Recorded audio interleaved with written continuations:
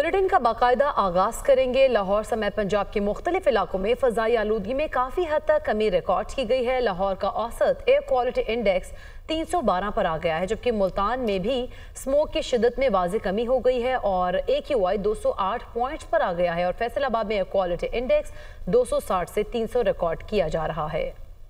लाहौर समेत पंजाब के मुख्त इलाकों में फ़जाई आलूदगी में काफ़ी हद तक कमी रिकॉर्ड की गई है। लाहौर का औसतन एयर क्वालिटी इंडेक्स तीन सौ बारह पर आ गया है। मुल्तान में भी स्मॉक की शिदत में वाज कमी रिकॉर्ड की गई है। ए क्यू आई दो सौ आठ पॉइंट्स पर आ गया, जबकि फैसलाबाद में एयर क्वालिटी इंडेक्स दो सौ साठ से तीन सौ तक रिकॉर्ड किया गया है और धुंध में इजाफे से स्मॉक का असर दिन के अवकात में किसी हद तक जायद रिकॉर्ड किया गया है और रावलपिंडी इस्लामाबाद में बूंदाबांदी के बाद फ़जाई आलूगी कंट्रोल में आ गई है। तो लाहौर समेत पंजाब के मुख्तु इलाकों में फ़जाई आलूगी में काफ़ी हद तक कमी रिकॉर्ड की गई है। मुल्तान में भी स्मॉक की शिदत में वाज कमी सामने आ गई है। ए क्यू आई दो सौ आठ पॉइंट्स पर आ गया। फैसलाबाद में एयर क्वालिटी इंडेक्स दो सौ साठ से तीन सौ तक रिकॉर्ड किया गया है और धुंध में इजाफे से स्मॉक का असर दिन के अवकात में भी किसी हद तक जायद रिकॉर्ड किया गया है। इसी सूरत हाल पर बात करने के लिए लाहौर से हमारे साथ मौजूद हैं जाहिद आबिद, मुल्तान से जैनब गर्देजी, फैसलाबाद से बिलाल अहमद और इस्लामाबाद से हरीम जदून हमें आगा लेते हैं। लाहौर का, जहाँ से हमें जो हमें ज्वाइन कर रहे हैं जाहिद आबिद।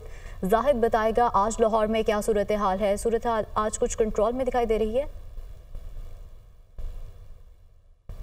जी, बिल्कुल गुजशत, चंद हफ़्ते के मुकाबले में तो काफ़ी बेहतर सूरत देखी जा रही है। आज लाहौर की जो फ़ज़ा है काफ़ी उजली और शफाफ नज़र आ रही है। गो के तिबी माहरीन के मुताबिक अभी भी मुजर सेहत जो हालात हैं वो बरकरार हैं। गो के इतना ज़्यादा असर नहीं हुआ, लेकिन इसके बावजूद जो गुजशत चंद रोज़ से एक बिल्कुल एक धुएँ के बादल शहर पर छाए हुए थे, वो इस वक्त नज़र नहीं आ रहा है और सूरज भी गायब था, लेकिन आज सूरज भी दोबारा चमकता हुआ नज़र आ रहा है। इसकी वजह यह बयान की जा रही है कि पहले जो मशरकी हवाओं ने रुख किया हुआ था, लाहौर शहर की तरफ़ से ऐसे आलूदगी काफ़ी हद तक लाहौर शहर पर आकर ठहर जाती थी, लेकिन अब दो से तीन रोज़ ऐसे गुजरे हैं जिसमें मगरबी हवाओं का सिलसिला लाहौर और इसके इर्द गवा और दीगर मुल्क के इलाकों पर मौजूद है, जिसकी वजह से हवा का रुख चेंज होने की वजह से ये तमाम जो आलूदगी के अंसर हैं, वो भी किसी हद तक इस वक्त काबू में होते हुए नज़र आ रहे हैं। आज इस वक्त लाहौर शहर का औसत एयर क्वालिटी इंडेक्स तीन सौ बारह रिकॉर्ड किया जा रहा है। तिबी माहरीन के मुताबिक 150 तक अगर एयर क्वालिटी इंडेक्स हो तो कदरे मुनासब ख्याल किया जाता है। गो के आज फ़ज़ा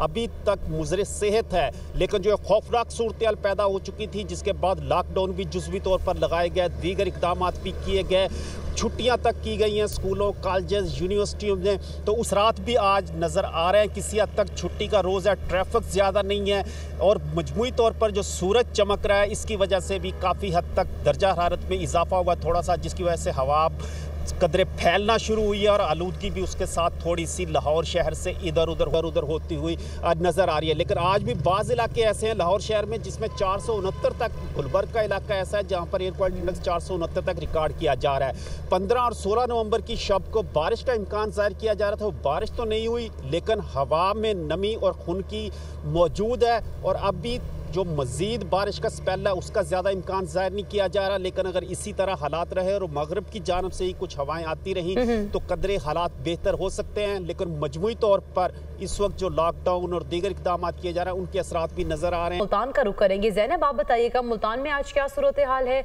और धुंध की वजह से क्या मुल्तान में भी स्मोक का असर जायल होता दिखाई दे रहा है?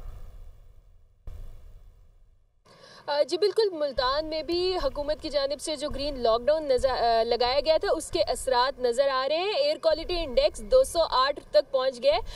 रोज़ की नस्बत मुल्तान का एयर क्वालिटी इंडेक्स जो है, वो काफ़ी कम है। स्मोक की शिदत में वाज कमी देखी गई है और ऐसा नज़र आ रहा है कि हुकूमत की जानब से जो ग्रीन लॉकडाउन में तोसी की गई थी, वो काम काम आ गई है। स्कूल कॉलेज और कंस्ट्रक्शन वर्क पर जो पाबंदी लगाई गई थी, उसके बायस स्मोक की शिदत में वाज कमी देखी गई है। महकमा मौसमियात की जानब से ये पेशगोई की गई थी कि मगरबी हवाएँ जो हैं वो पाकिस्तान में दाखिल हो गई हैं, जिसकी वजह से स्मोक की शिदत में कमी देखी जाएगी और ऐसा नज़र भी आ रहा है। स्मोक की सूरत हाल काफ़ी ज़्यादा बेहतर हो गई है। फ़िज़ा जो है वो उजली साफ़ सुथरी नज़र आ रही है। उसके अलावा सूरज निकल आया है। गुजशत कई रोज़ से सूरज नहीं निकल रहा था मुल्तान में। आज सूरज नज़र आ गया सूरज और बादलों की आँख मचोली भी जारी है। मौसम भी सर्द हो गया है। हवा में नमी का तनासब भी सौ फ़ीसद जो है है, वो दिखाई दे रहा है। उसके अलावा मोटरवे भी कल रात धुंध की वजह से बंद कर दिया गया था। वो अब खोल दिया गया है। ऐसा नज़र आ रहा है कि मुल्तान का मौसम जो है, वो सर्द हो गया है। ऐसा नज़र आ रहा है कि आइंदा चंद रोज़ तक बारिशों का भी इम्कान है। महकमा मौसमियात की जानब से ये कहा ये कहा जा रहा है कि बारिश का जो अगला स्पेल होगा, उससे जो स्मोक की सूरत हाल है, वो मज़ीद बेहतर हो जाएगी। दूसरी जानब, महकमा माहौलियात का यही कहना है कि स्मोक के ज़रिए बारिशों के ज़रिए ही स्मोक को कंट्रोल किया जा सकता है बारिशों के ज़रिए ही स्मोक को कंट्रोल किया जा सकता है। ठीक है हमारे साथ मौजूद रहेगा फैसलाबाद में क्या सूरत हाल है ये बताएँगे बिलाल अहमद। बिलाल बताएगा फैसलाबाद में आज कितना एक रिकॉर्ड किया गया है और कैसा मौसम है आज?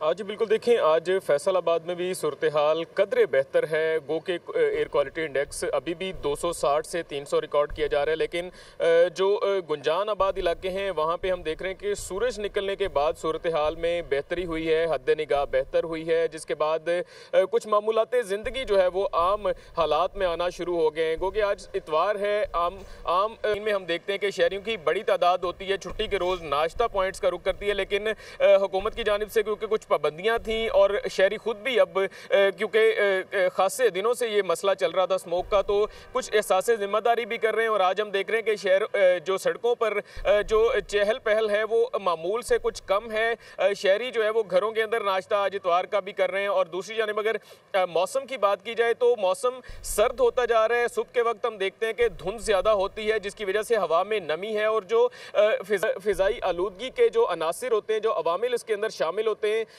जिस वो जो है बैठना शुरू हो गए क्योंकि नमी नमी है तो इस वजह से कुछ जो सूरत हाल है, वो फैसलाबाद के अंदर भी हमें बेहतर होती हुई नज़र आ रही है। इंतज़ामिया की जानब से इकदाम की अगर बात की जाए तो मुख्तलि मकाम पर जो है वो हम देख रहे हैं कि आज क्योंकि इतवार है तो शहरी जो है वो आम हालात में निकलते ज़रूर हैं मुख्तलि तफरी मकाम का रुख करते हैं, लेकिन क्योंकि सत्रह तारीख तक हुकूमत ने बंद कर रखे थे तो ये भी एक वजह बताई जा रही है कि आम तरफ़ जो कम हुई है, सड़कों पर ट्रैफ़िक भी कम हुई है और अब जो इंतज़ामिया के इकदाम हैं। उसका भी इजरार है फैसलाबाद में भी स्मोक की सूरत कुछ बेहतर हो रही है और आइंदा आने वाले दिनों में इसमें मजीद बेहतरी का इम्कान ज़ाहिर किया जा रहा है। इस्लामाबाद का रुख करेंगे। हरी, माँ बताइएगा, इस्लामाबाद में आज क्या सूरत हाल है? चूँकि हम देख रहे हैं कि बूंदाबांदी भी हो रही है तो उसकी वजह से भी कुछ स्मोक में कमी देखने में आ रही है।